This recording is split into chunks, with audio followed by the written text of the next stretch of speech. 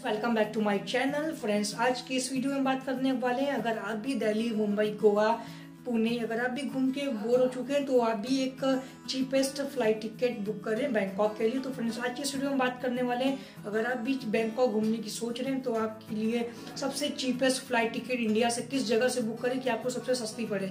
तो फ्रेंड्स आप मेरे वीडियो को एक लाइक कर दें। अगर आप इस चैनल पर नए आ रहे हैं तो उसे सब्सक्राइब कर दें और बगल में बेलाइकन होगा, उसको भी प्रेस करना ना भूलें।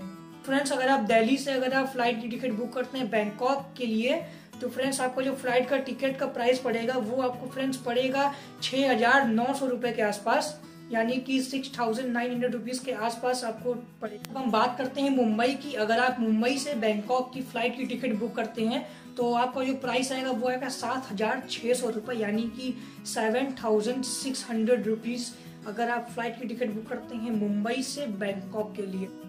तो फ्रेंड्स अब हम बात करते हैं, अगर आप कोलकाता से, अगर आप बैंकॉक की फ़्लाइट की टिकट बुक करते हैं तो उसकी जो फ्रेंड्स प्राइस आएगी फ़्लाइट की टिकट की तो वो आएगी फाइव थाउज़ेंड फाइव हंड्रेड यानी कि साढ़े पाँच हज़ार रुपये आएगा फ्रेंड्स तो इससे फ्रेंड्स मैं आपको तीन जगह के रेट बताया हूँ।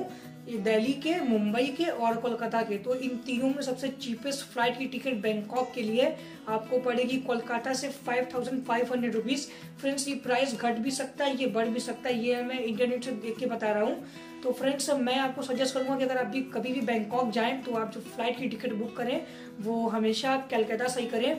फ्रेंड्स एक ज़रूरी इन्फॉर्मेशन मैं आपको ये भी देना चाहता हूँ कि 5000 से भी कम, यानी कि 4000 रुपीज़ के आसपास एयर एशिया की फ़्लाइट जाती है कोलकाता से बैंकॉक के लिए। तो फ्रेंड्स इसमें एक टर्म्स एंड कंडीशन लिखा आता है कि आपका जो बैगेज होना चाहिए, वो हैंड बैगेज रहना चाहिए लगेज नहीं रहना चाहिए और हैंड बैगेज शायद मेरे ख्याल से सेवन के से नाइन के तक का ही वैलिड रहता है। और अगर आप इंडिगो या फिर स्पाइस जेट बुक करते हैं तो उसकी जो फ़्लाइट की टिकट आसपास आती है, वो five thousand five hundred rupees के आसपास आती है। उसमें आपको ये बेनिफिट मिलता है कि आप हैंड बैगेज भी लेके जा सकते हैं और बड़ा लगेज भी लेके जा सकते हैं।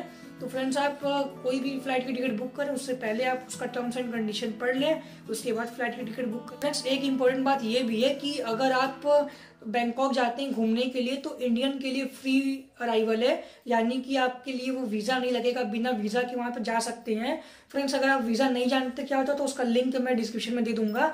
आप वहाँ से जाकर देख सकते हैं। तो फ्रेंड्स अगर आपको मेरा वीडियो अच्छा लगा हो तो उसे एक लाइक कर दें। अगर आप इस चैनल पर नए आ रहे हैं तो उसे सब्सक्राइब कर दें। बगल में बेल आइकन होगा उसको भी प्रेस करना ना भूलें।